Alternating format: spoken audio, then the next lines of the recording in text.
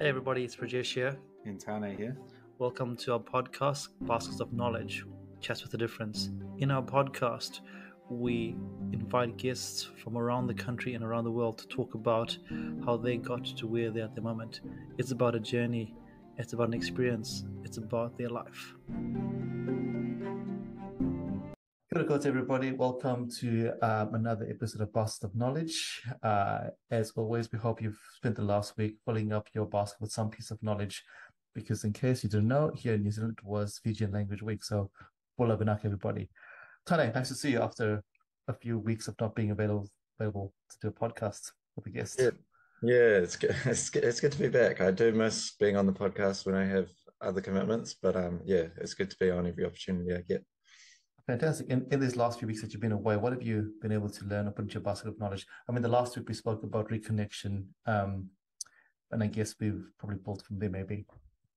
I think what I've probably reflected on the most is just again catching up with those people that I haven't connected with in a long time, um, but probably more from a personal perspective in terms of understanding that other people do see what you're achieving. Um, I think I've discussed this before, but you know, sometimes when we're caught up in doing assignments or you know go go go. We don't actually see the inroads we're making in our journey. And so it's good to be able to hear certain people say you know it's cool to see what you've been doing or what you've been achieving because sometimes you don't actually see that for yourself. So it's been real encouraging especially as we come into exams and you know a stressful situation it's good to have that reassurance that hey you actually are doing you know something and that's better than nothing. Yeah it's so crazy. And that's going to dovetail to what i what i have learned as well. You know um you don't know what you this is going to sound terrible. You don't know what you're good at because when you're writing a CV, for example, it's so hard to write a CV. I find it the hardest thing to do. And you know, you you write all these things here, and then you give it to somebody who is maybe your manager or someone that's senior, and he goes, "You forgot about this. You forgot about this." You're like, "Yeah, but that's just that's just normal. You know, that's just what I think is normal." So, um, you know, it's I think it's it's a, quite a good um reflection that you are doing some good things, and people out there will recognize that, even though you don't think it is a thing. The other big learning I had this week, or big um, relearning, I guess, was um, I don't know if you've heard of the three circles of control. So I had a, an amazing um, workshop this week with one of the an amazing staff member, and they spoke about the three circles of control, where you have the outer circle, the inner circle, and the inner circle. And the outer circle is things out of your control, and no, no control, no influence. Inner circle is no control, some influence, and the closer circle is full control, full influence. And a lot of us live in the world where we are in the outer circle where we have, we try and control, we can't control and forget about the inner control. And it's so crazy. Um, we all, we all guilty of this. I think that we try and focus on things that, hey, this stuff here, which is zero control, instead of focusing on the stuff that we can control. And, um, yeah, that was just an awareness that I'm probably going to think about more and write about more in my, wherever I write stuff.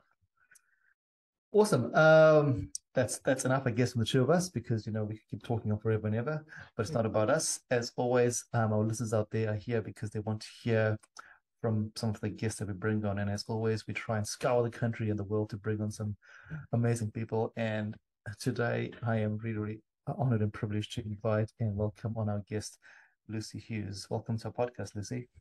Kia ora, guys. It's it's lovely to be here. It's lovely to talk to you both.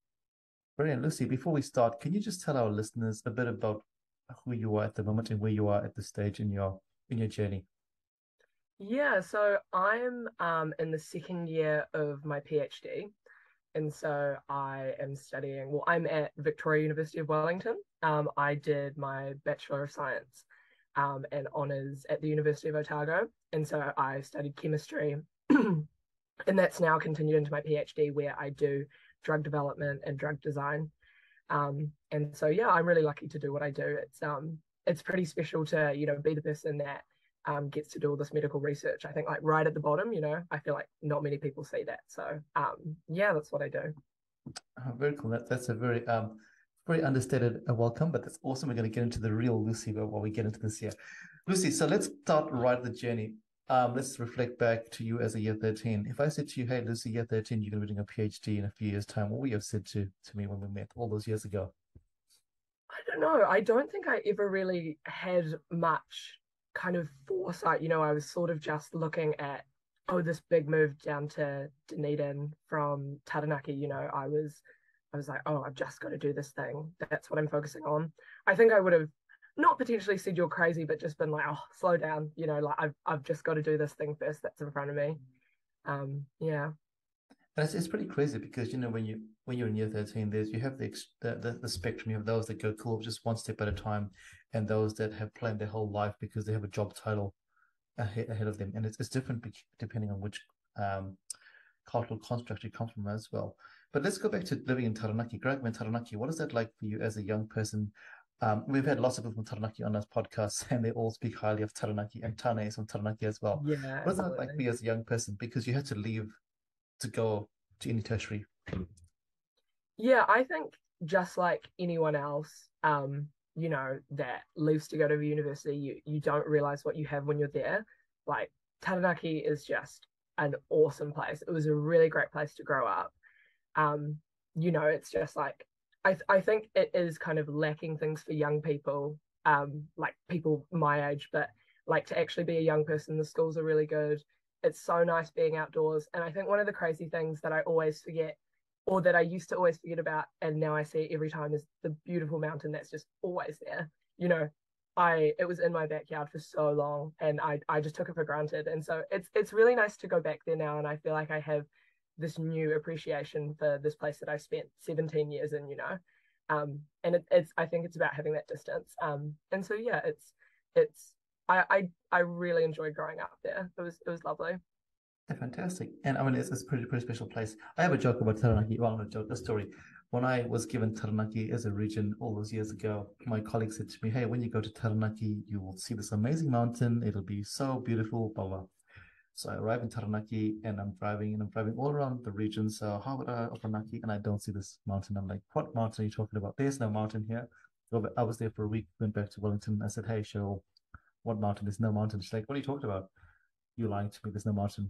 And then I went back maybe three weeks later and I was like, how on earth did I miss this mountain here? It's right in front of me. It's just so, so it hides, right? It hides from you, doesn't it? Yeah, yeah. It can hide behind some clouds sometimes. Oh, that's funny. That's so, so crazy. Um, so you had this, you had the choice now of leaving. Um, well, you had to leave, you had to leave to go and study. What is your family and your whānau like when you had said, "Hey, hey, Pierre, say whānau, I'm, I'm leaving now"? Were they supportive, or is it um? So hey, I was, sorry. I was the sorry, um, I was the, I was the first in my family to go to university. Um, I'm the I'm the youngest of of four, um, by a really wide margin. Um, so I'm 23 and the next youngest sibling is is 31. So um, they're all much more grown up than I am, and none of them went to university. They all did trades or became um, like worked at the supermarket or something like that. And so when I told my parents that I was going to university, they weren't very supportive um, at the beginning. They were sort of like, um, you know, you're not going to get a job or what a waste of money kind of thing. You know, they they really wanted me to do a trade. Um, and so I think in in that sense it was it was quite difficult to like I didn't really have anyone in my family to talk about the process to help me through it. Um, and because my parents are immigrants, we didn't have any extended family that really did anything like that. So I think um, I think when I left, it was I think it was quite isolating. Really, they were kind of just like bye. Um, But um, they're they're of course incredibly supportive now. They're, um, yeah. they're really supportive now. And it's really it's really hard, you know, because like you said, first in family, they have you have no idea, you know. Um, I meet lots of lots of families and young people who see their siblings um, working in a trade or in a supermarket doing extremely well, extremely well. They go, hey, why would I send my young person over to university when their siblings are smashing it? You know, they can go there. And as an immigrant, as an immigrant, those are high risks. It's a it's a high risk model to send a young person over, and a very financially expensive risk. So you know, you can understand their shoes end, but hey, um, it's awesome you don't let that stop you because it's so easy. I see lots of young people in the same situation. Actually, hey, maybe I'm just going to be constrained and not go because mom and dad are correct and I should probably just stay at home. So I have to acknowledge you for, for taking that step there because it is a, it is a bold step to go against what your family is saying. And then you, you, come to university. What is that like for you? You come here and um, hold the yeah. I guess. Yeah, well, so I I didn't actually do year thirteen. I um I I skipped a year of school. Yep. Um, and I got level three in year twelve. Um, my school um I went to New Plymouth Girls High, and they had this cool program where they put forward a class, uh, you know, thirty girls to kind of go ahead. And most people stay and just do extra classes, but school really did not agree with me. I hated being there from 9 a.m. till 3 p.m. It was it was just not my thing. I was always bunking. I was always doing stuff like that. So um, I was like, why not go to university? So I went off to university, and to be honest, I actually found the first year quite hard. Um, I, you know, living in a small place like New Plymouth, um, I kind of knew everyone around me. I grew up with these people. Um, these people like really knew me. And you know how some people go to university and it's like a kind of a chance to reinvent themselves. I kind of went to university and I was like, oh, I kind of have this opportunity to reinvent myself, but I don't really know who I want to be. I, I, I kind of struggled to make friends. I think um, at the beginning, which is kind of funny in hindsight because I made like so many unreal friends, and like I wish I could just tell first year Lucy to just relax, take it yeah. easy, be yourself. Yeah, and that's that's the hard thing, and that's the message we've had come across quite a bit um, about how do you find your authentic self. You know, when you when you go into any environment, university is probably the biggest environment where you have this massive change, and everyone is doing what their culture think is the right thing to do. I use the word culture in the university culture, and you actually lose yourself, but you don't have time to think about yourself, and it's really hard. You know, there's no there's no manual, there's no guide, there is no. no there is no way. There's suggestions, but it's your yeah. own journey. Um, and like you said, you know, at that point you were like, "What is going on here?" And it's pretty scary. Tane, yeah. did you feel the same thing when you came along? Yeah, definitely. I think, especially in those first probably couple of months, because as you say, you know, you don't know many people down here. Um, only had one other come from my school, and he went to a different hall. Um, and then I had a couple of friends, and obviously met people through hands on that I knew were coming down. But even still, you know, even you've only met them for a week, you don't know who you're trying to be within those um, social environments. And so, especially in that first probably week, two weeks, it was about who do I want to be in regards to the whole, you know, and what message do I want to portray about myself, which is hard to do when you're at that young age. You know, you've just made this massive step of going away from home and you know you're trying to rediscover yourself let alone try and figure out what message you want to send across to everyone else so it is definitely a couple of challenging weeks yeah, and then um, and can you remember Lucy the time when you just started to feel feeling comfortable? Is there a time or a moment that goes, actually, hey, this is this is okay? I remember um I remember kind of moving to uni and I was all I was kind of hyper aware of the fact that I needed someone to flirt with in second year. Um because people talk about it instantly. Like people talk kids talk about it far too early. Um, and so I was like, oh my God, I need to make friends. And um, I I remember kind of the moment where I made or like I met these girls. Um, it's funny, um, they were like some of the only like Maori and Pacific Islander girls in my hall, and we just all kind of like agglomerated. And um, I just remember meeting them and hanging out with them, and just thinking, oh, I'm I feel relaxed. And this so this probably would have been like in maybe April. So it was a few months in and I just remember feeling really relaxed around them. And and that was really nice. But I think I honestly don't think I felt like my true authentic self that I am now, really until my second year. Um yeah. yeah. And um, I'm going to turn back to your, your cultural identity. So um, you said you felt relaxed when you found um, other Maori Pacific uh, young people. Has that been a big part of your life, your cultural identity, or how does that fit into your, or how does that fit into your being an immigrant parent, immigrant family as well? How does that all fit in this crazy diverse world we live in? Yeah, so um, my mum is Filipino, so um, that's kind of the culture that I have, and so I think it's more just you know coming from somewhere like Taranaki, where you're always like you're always surrounded by people that are Maori and Pacifica, or um, I guess like lots uh, like i was always surrounded by lots of other filipino um, people as well.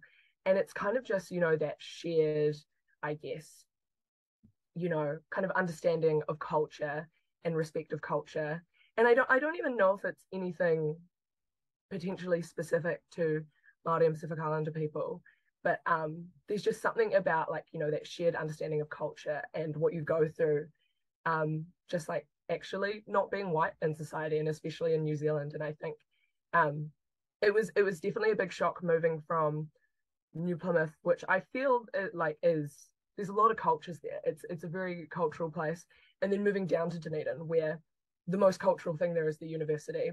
Um, whereas like the rest of Dunedin is um, is very white. Um, and so kind of I think getting used to that and then finding my space there was I wouldn't say it was difficult, but it was um, just something I wasn't expecting to reckon with. I wasn't expecting to kind of come face to face with my cultural identity in that sense.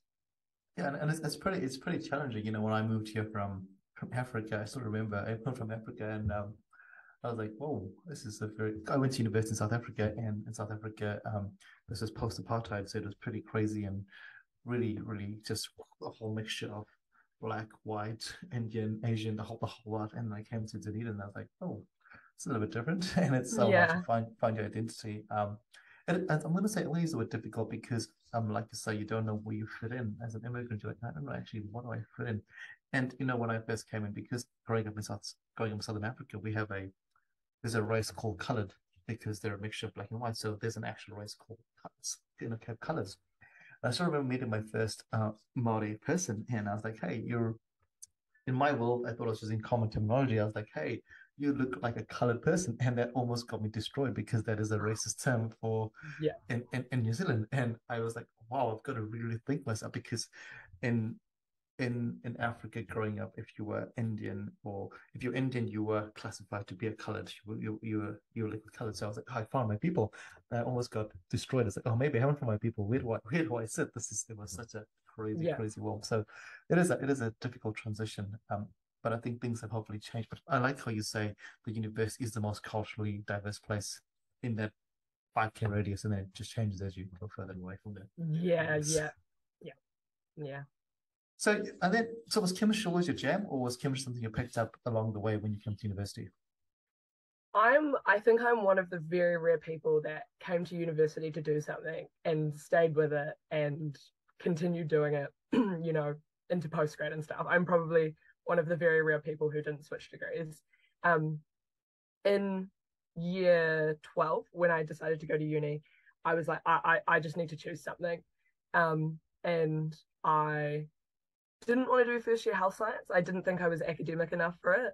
Um, for, you know, the kind of, um, what's the word, the, like everyone says first year health science is incredibly hard. So I was like, oh, that's not for me. You know, I'm not the most academic person in the room. And then I was like, well, what else do I like? And at the time, I was taking history and English, and I really liked all those things. And I was really, I did lots of arts, and all I could hear in the back of my head was my parents telling me I've got a useless degree. Um, so, and and as a result of that, I I chose chemistry because it was my it was my favorite science. Um, and then I and then I went to university and I I hated my first chemistry paper, absolutely hated it. Um, I it was I think it was my worst paper that semester as well. Um, and so that was sort of I, I, I did a really big mix of things in first year. Um, like you're told to, you know, kind of put your fingers in all these different yeah. parts and figure out what you want to do. Um, and then and I was like to myself, if I don't like chemistry in second semester, I don't have to stick with it. I can do something else. Um, and then I did the second semester chemistry paper, which is the one that's not um, required for first year health sciences and um, I, I, just loved it. The it was taught really well, um, much smaller class sizes, and it and I really got along with the lecturers. Um, I specifically remember having a a female lecturer, um, Anna Garden. She's she's just awesome, and she just like kind of opened my world to um, this this whole new world of chemistry that you, never touch on at school. Um, and it, it was pretty wild. Yeah, it was good. It's, it's so crazy how a, a lecturer or a teacher has such a huge impact. You know, we only reflect about that as you as you go. You know, when you leave university, you think about the teacher that was profound at school. When you're in postgrad, you think about the lecturers that were pretty profound in your undergrad program. And then as you become a, a as you become a PhD student, you know, people are looking up to you, even though you don't realize that. You know, you start being a teaching fellow, you become that person, um, and it's pretty pretty crazy how that just evolves, that evolution.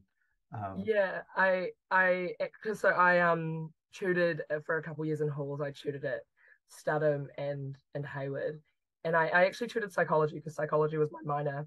But I yeah. on the way convinced a couple people to take up chemistry as a major, and um I you know have have bumped into them as they finished, and I've just been like, oh, like you know, thank you so much for getting like you know actually just pushing me to do this other chemistry paper. I really loved it, like the same one that I loved. Um, yeah. And so that's that's always really nice. It, uh, but you know, it's, it's a lived experience, right? It's not a it's not a hey maybe you like I've actually I've done this. I really enjoyed it, you know. And I'm sure Tane, you've got the same same story there with your with your crazy journey of study. Yeah.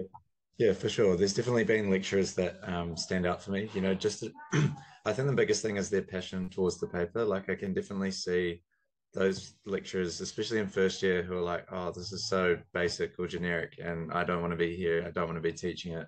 Whereas other lecturers really had a passion for, you know, including first years and getting them involved because they knew how much that would mean not only in that paper but probably across their whole university journey.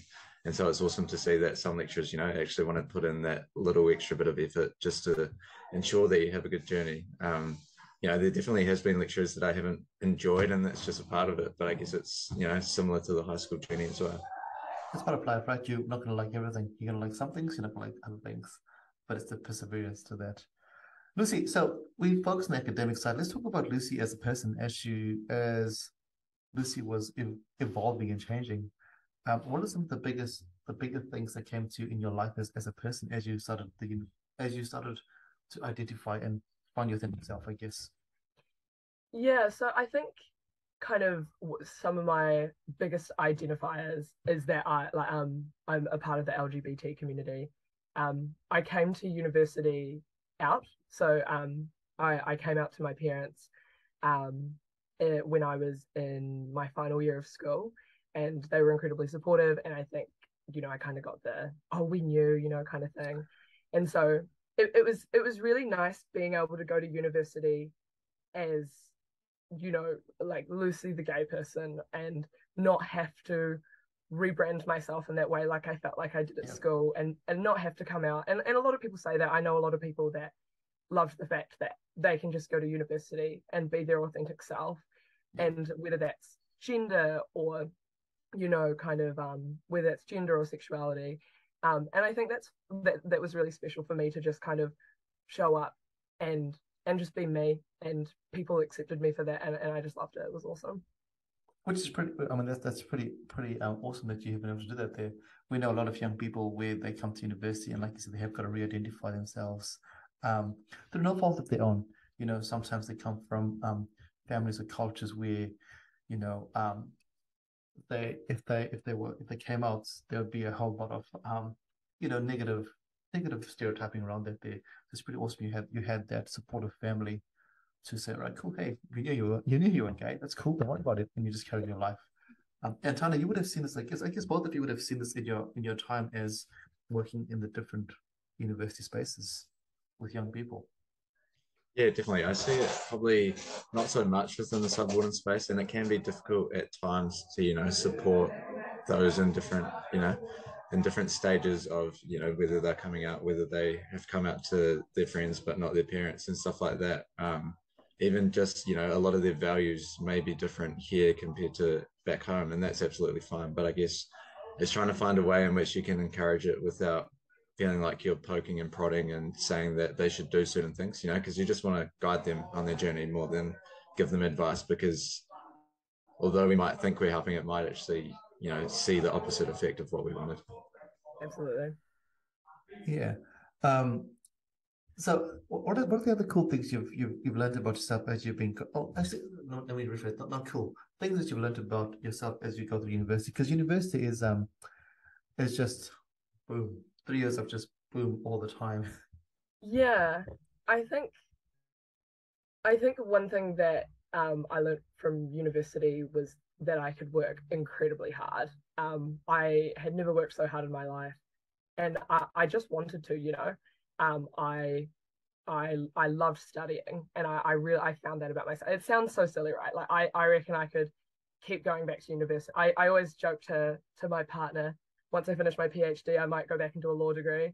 And she's just like, don't like stop. It's um yeah, I, I just love studying. And so, you know, I kind of I never really considered myself as a as a hugely academic person. You know, despite being excelled at school, I was always the one cracking jokes. I was always the one kind of not paying attention. And so kind of going to university and finding this passion for education and and finding this passion for just learning was was something I think unexpected, um, but but really nice. And yeah, and I also found this huge passion for for chemistry, which is great, of course.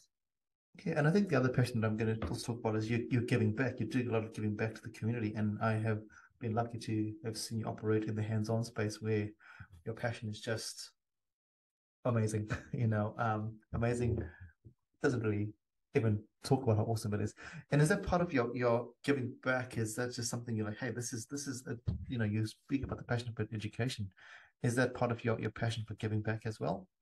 Yeah, absolutely. I think when I think about what I want my career to have in the future, I, I just know I, I want it to to give back to young people and to give back to the system that has given so much to me. You know, I got so much out of my university experience and I I want to kind of help young people young people through that. And so that was how I ended up at hands on. I didn't actually go to hands on myself, um, but I had friends who did. And they just said it was, they came back and they were just buzzing. They said it was the best. They were telling me all about it. And I remember going to university and being like, I want to be a Richard. Like, that's what I want to do. Um, which is funny because I never went. But um, it, it is just so nice kind of just being able to be a friendly face in the university system that they can relate to um, yeah. for whatever reason, whether it's they look like me or they're queer or they want to do chemistry or something like that, you know, um, it's really important to just be there and like be like have conversations, have these chats with young people. I mean, it's your whole job, right? Have chats with young people and yeah. get them into the um to the university system and and help them out. Yeah, I mean it's it's it's it's really quite interesting how you put that because not everyone sees that as a as something they want to do. They come into university, they do their thing, and off they go, and that's fine. There's, there's nothing wrong with that. There, everyone's got their own space, and and you you see when young people come to hands on. For our listeners out there who don't know what hands on is, it's a week down in, at the University of Otago where young people between the ages of I guess 15, 16, or 17 come and have an experience. For some of them, it's their first time away from home um, which is where, as Lucy and Tane have previously mentioned, and Andrew and Bo have mentioned, they're red shirts, and they're basically the first or the people that these young people get to get to interact with as, as old sibling, or I don't know how to even how to even put that because it's a pretty it's a pretty unique um, role to have. And you know, just giving back in that way. It's not just academic. It's actually academics is very slight, tiny. That it's the actual growth of that young person over that week there, which is pretty um pretty great. And you know, watching watching you in that space is pretty pretty awesome. Yeah, and I also, and also your, your colleagues as well in that space. Pardon me. And also your interaction with the colleagues as well is, is pretty important because you know um, there's lots of academics or people that love education that are not that and, and I love the way you put it before. I you love joking, you love being distracted, and a lot of people go, Oh, if that's the case, you can't be an academic. And yeah. you you you you you you carry that line so well. I mean, how has, has that been part of your persona as well. Yeah, absolutely. I think I think there's uh, there's something to be said about academics, right? And, and, they can be quite intimidating. They can be, you know, um, people who are not necessarily approachable. Um, and so I think it's just always been in my nature to kind of joke around and laugh. But I think it's so important to carry that into academics and carry that into a professional atmosphere because I think at the end of the day, university is so much fun. And at the end of the day, the way that you're going to get people through degrees and people through postgraduate study is is just by making it fun and just being friendly and being approachable. And I I don't love the seriousness of academia sometimes. I, I definitely understand, you know, there's lots of money flying around. It's really important to be serious. But I think um it's it's so important to build that rapport.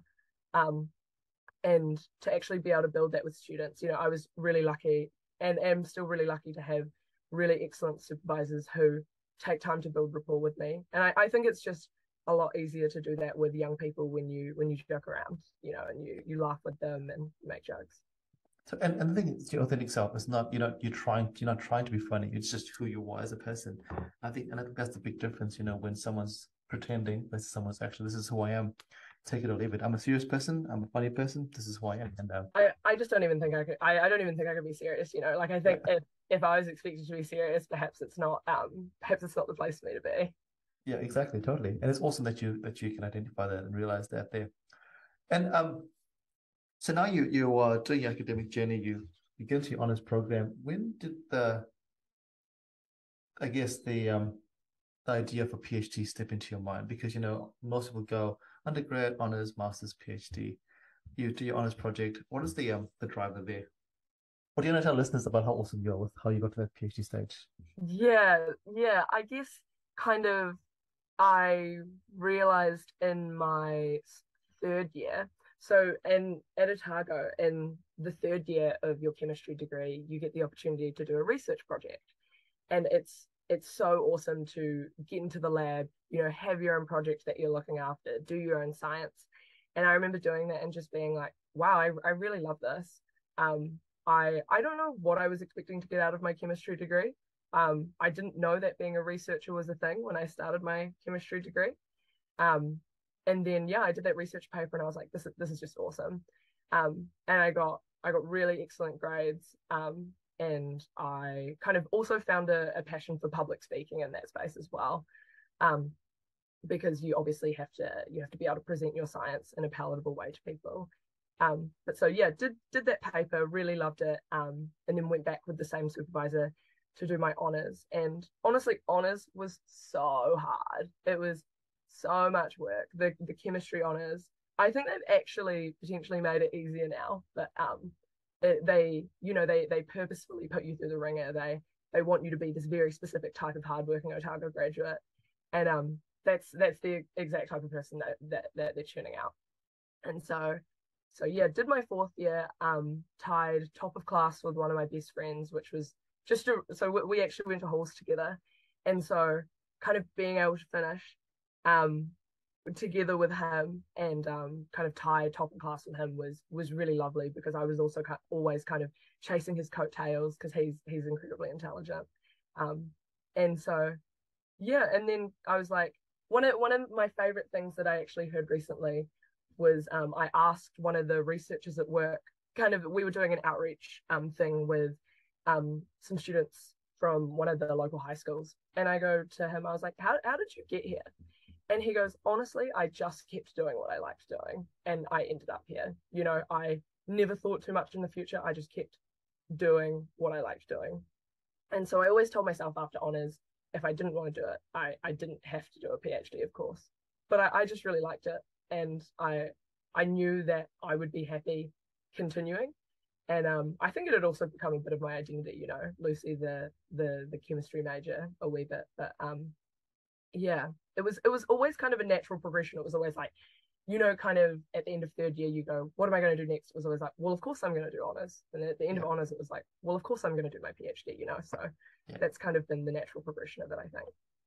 Oh, really awesome. And um, and that's really I love I love how you that advice you got was just do what you enjoy doing, and it's really hard. You know, um, if I scale right back to where I am in, in the space that I work in, I really try and emphasize the fact that hey, let's not forget about the career path. Really, it's there, but if you don't enjoy what you're doing from day one, then you're not going to get to where you want to go. And it's but it's a hard message in, as, as adults as well. If someone says to you, just do what you enjoy doing, they go, I've got to pay the bills, I've got to do that. Uh, and you're like, actually, yeah, but if you if you're struggling, it's never going to be enjoy, enjoying right enjoyment. And um, it's a really awesome piece of advice that you got from your your colleague, I guess, at the time. Yeah, and I think something like research, it it requires so much passion and it requires so much hard work and you know extra hours that um, may not necessarily be seen by your colleagues or that you're even paid for you know yeah um, and so to I, I guess just like with any profession, you're, you're not going to do well unless you love it, and so yeah. um, it's really key, especially in research, to to only do it if you love it. I love what you said because research is a um, it's, it's it's a thankless task, right? You know, and we'll talk about it in a second. It's a thankless task. You, you're doing what you do, and people look at you that are not in the research role, going, "Hey, hey lucy why are you doing that? Why are you spending hours trying to write this mm. article? Who cares about it? Who's going to read it? But actually you know people out there will read it and the world will change or maybe maybe not but at least it's your passion that's out there. Um, and i still remember when i when i was doing my master's and my phd and my supervisor was like you have to do research articles. Like why, why do i do research articles at that point in time? And then you spend so many hours doing research article and everyone around is going is that going into a magazine? And you're like, no, it's not a magazine. It's going to a, a journal. Like, what is what is a journal? like people that are in academia, and it's so so crazy, but it's um it's quite the journey. So you you you um you find this passion, you find this love, and now you have an option of, of doing a PhD. And again, you could go anywhere with your PhD.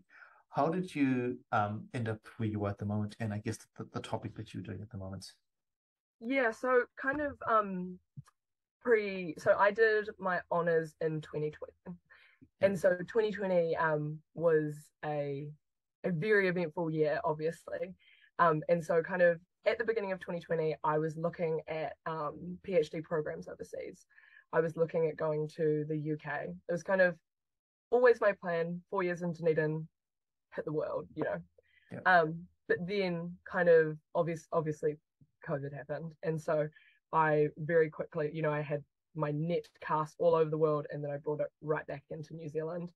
Um, and, and, and I'm actually really thankful that I I did because um, I'm really loving being in Wellington. And so that leads me to where I'm doing my PhD. So um, I kind of looked at Christchurch, Wellington, and Auckland because I think one of the reasons that I wanted to leave Dunedin was because I absolutely loved my time there. You know, I I really loved it. It was, you know, um, it, I just had so much fun and made so many awesome friends. But you know, I think one of the very special parts about Dunedin is that it's always changing.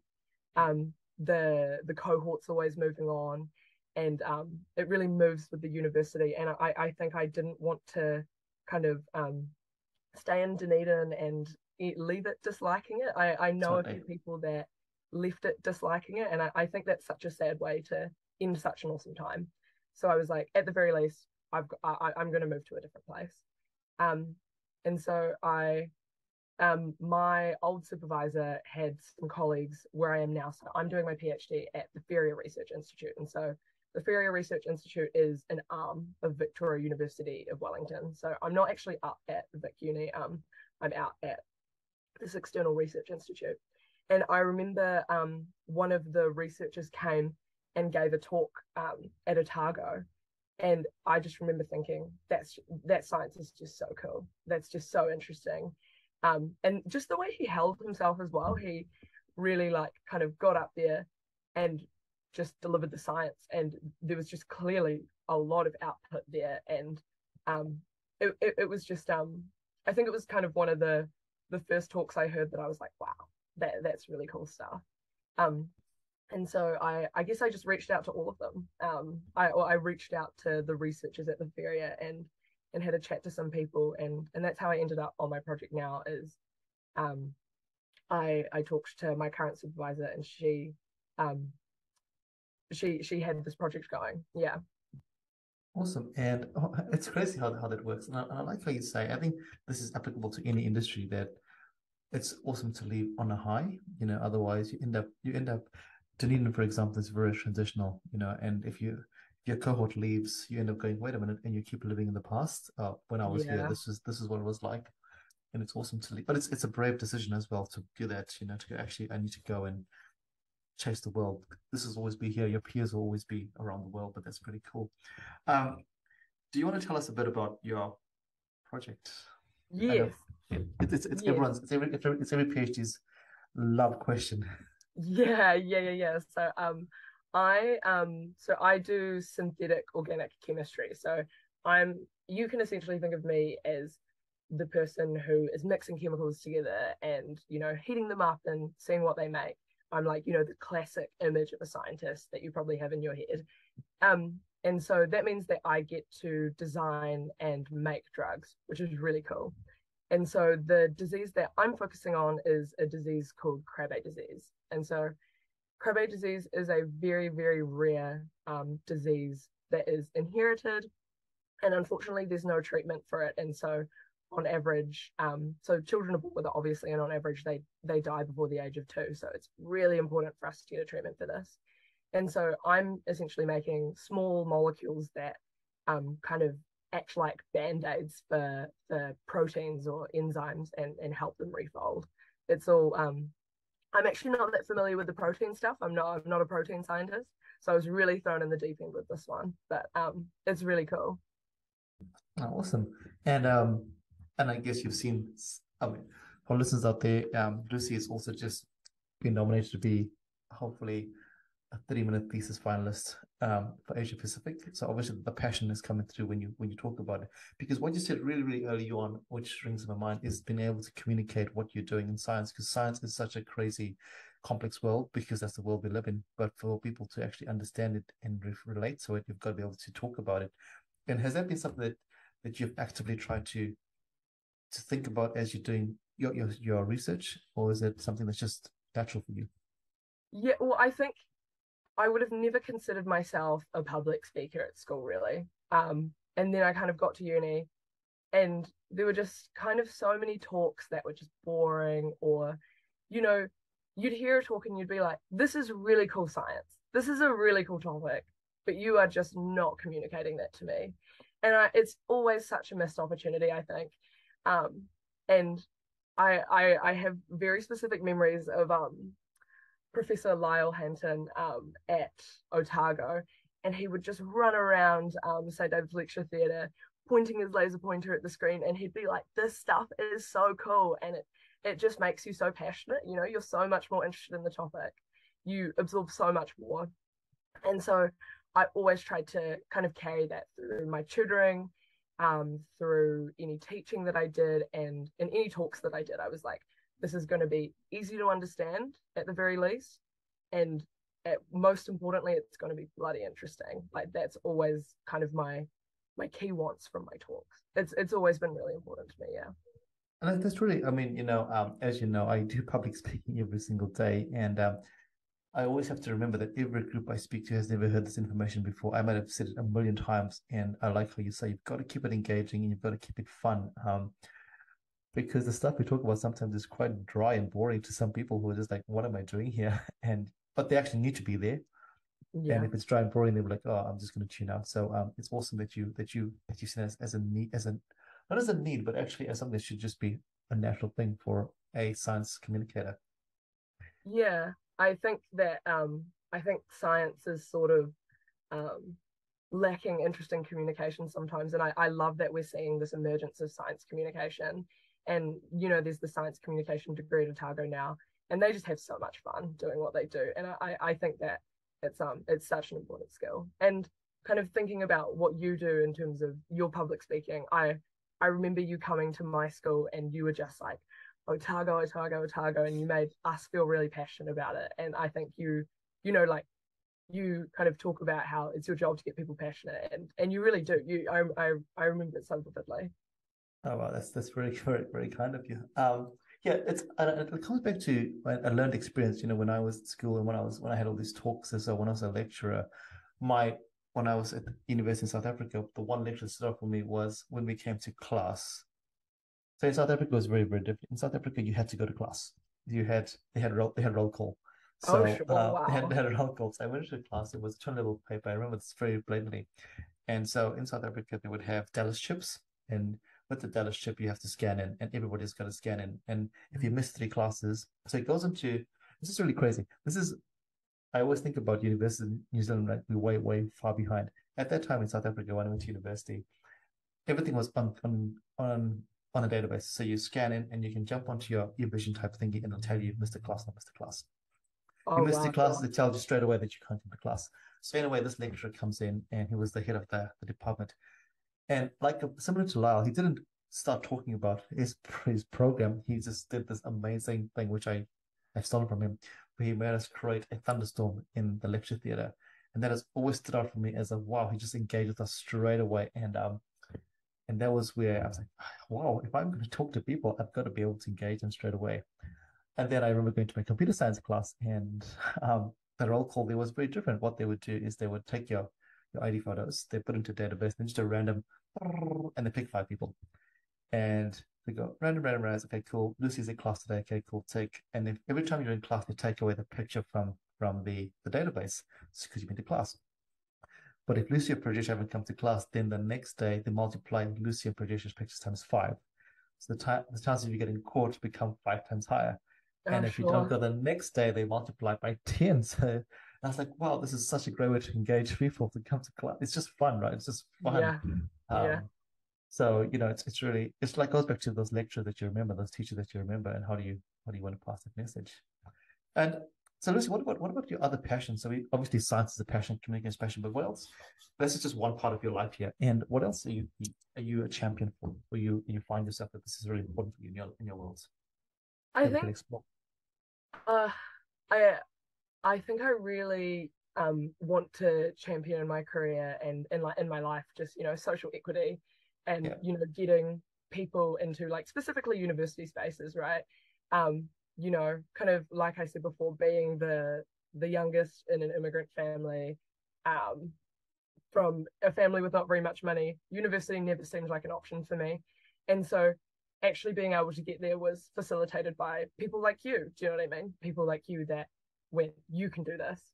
And I really want to make sure that kind of in my career, I get to kind of champion people in whatever space they want to be in, whether they um, want to you know go to university or whether they want to do trades or something you know like i i always want to kind of make people know that they can they can be in those spaces. And i think science as well right? Science is so dominated by men and it's so dominated by pakeha people. And so kind of what like i want to see more people that look like me in science spaces. I want to see more women. I want to yeah. see more people of color specifically in chemistry right? I don't i, I can't really comment on the the demographics of of other sciences but um, yeah. i know that chemistry has like kind of the the biggest spaces in chemistry are all um all the pakeha men. And so i really i really care about making sure that our our space is more diverse. Um and yeah th- that's incredibly important to me. And another thing that i i really want is just to to make sure that it's that, that it's easy as possible. Like i think so often you know university and education is just so difficult.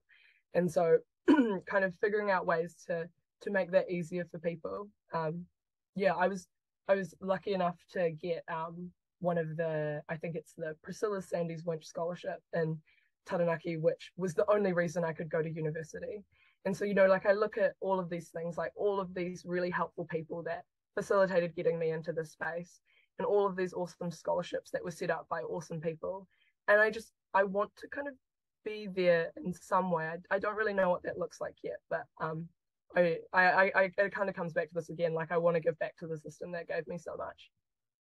And it's, really, it's really quite profound. I mean, that you've mentioned that. I think there's two things we're gonna, we will touch on there: the social inequality that happens in, I guess, just generally, you know, um, first in family or low socioeconomic, you have barriers galore. You know, like I said, there's two things; those those two are intertwined. You know, um, first of all, you've got to battle the the cultural construct in certain families and cultures that actually going to university is a reality. Sometimes it's not. Or, or gender classification. You're a young female, you can't go to university. That's the first barrier. The next barrier is the cost. You know, going to university is, has got a cost attached to it. And unfortunately, or fortunately, I don't know, a lot of the media hype is, hey, why would you spend all this money to go to university? And you know, it's to fight those stereotypes that actually university is not just about a career, but if you think about yourself, if you hadn't taken that jump, you wouldn't be where you are today. You didn't say, I want to go to university to become a PhD researcher. You went to university to go, hey, this is I'm going to see what happens. And um initially, and it all changed. But it's it's those social barriers are really, really quite hard. And and people like you um, need a voice to be able to speak about that. And unfortunately, I don't know how that happens. I mean, I would, I would have some pretty cool ideas. Um, but again, I work in the constraints of of my job description, which makes things pretty hard.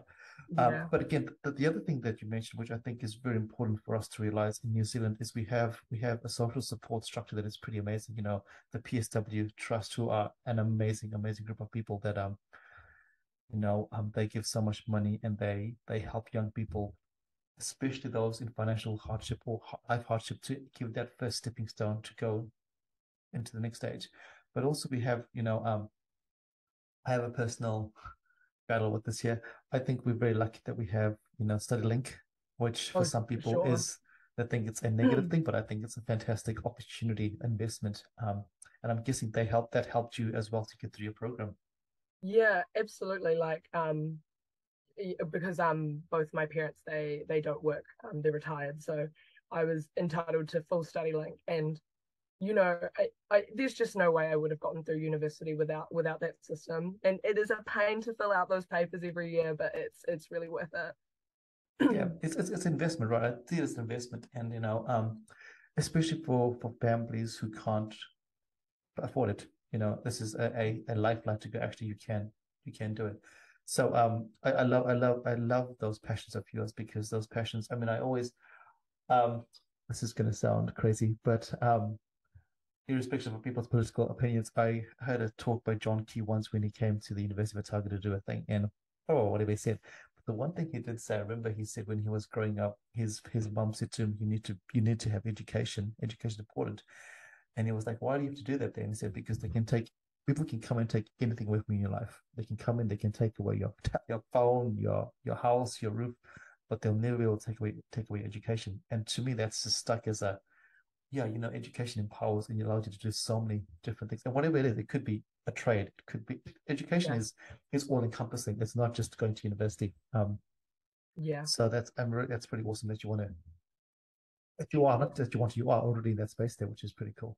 Yeah, I think I I recently had a a really um well, so we have uh, like at, at uni uh, occasionally I'll just randomly realize that I'm one of the the only female in the room and I go, oh, that's just not okay. Like I, I, I understand that that's not um, anyone's fault. That's that's present, right? But it's and and also, you know, I'm the only queer person in the room. I'm the only person of um like BIPOC person in the room, and it it it's just strange. I think it it, just doesn't reflect society either. And yeah. so I think I want my spaces to better reflect society. I I think, and um I'll I'm I'm excited to see how I champion that in my lifetime. You, do you know what I mean? Like I'm I I'm really excited to see how how I'm going to have an effect there. And that, uh, yeah, I'm, I'm, excited as well. I'm, I'm pretty excited. I'm pretty sure there will be a profound effect coming through. So that's really, really cool. Listen, we've been talking for almost an hour now, um, which is pretty crazy. Um, we can keep talking on and on and on because I think you're a very interesting person, and have some amazing stories to share.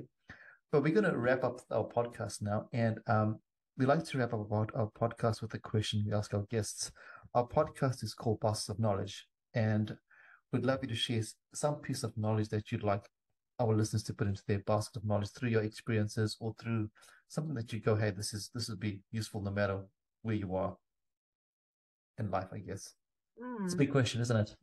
Yeah, it is a really big question. I think yeah, it, it's a really good question. I think kind of, you know, we, we've already touched on it. Um, is is just keep doing what you love.